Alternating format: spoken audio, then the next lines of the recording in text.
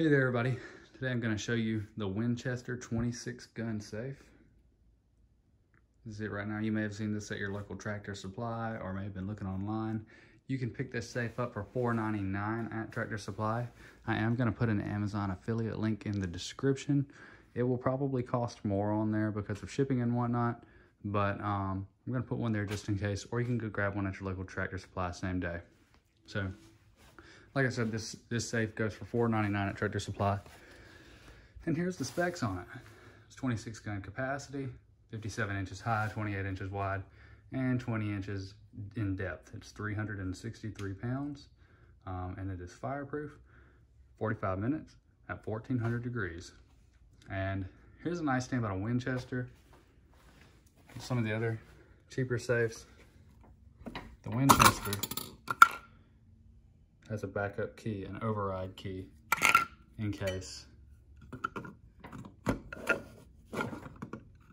in case uh, your battery goes dead or if you forget the combination, anything like that, you have an override key. Um, but one nice thing is this is uh, made of a nice material right here. This uh, keypad feels very tough compared to a lot of other safes. Um, but I'm gonna put my combination in real quick.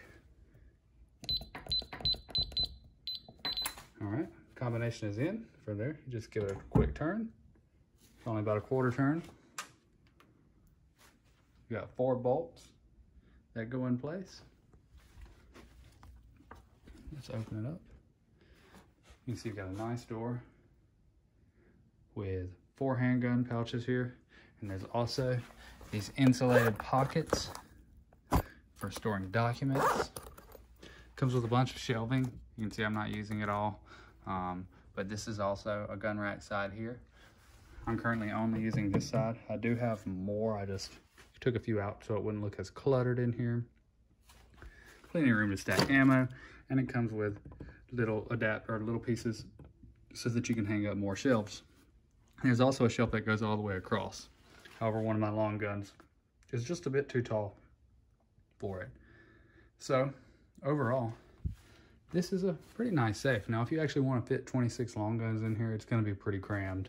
Um, they can't have any optics or anything like that. And that's not uncommon for these safes to actually say they'll hold a certain amount and that amount would be kind of outrageous. But plenty of room for ammo and magazines and handguns. You can see I've got one here in a pouch.